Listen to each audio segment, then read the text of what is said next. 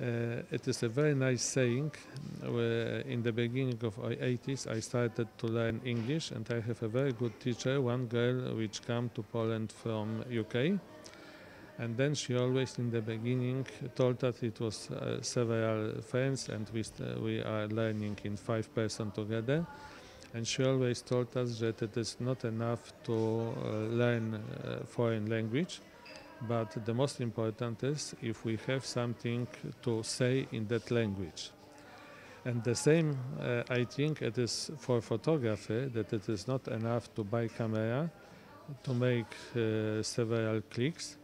but uh, the most important is to uh, go going going to that direction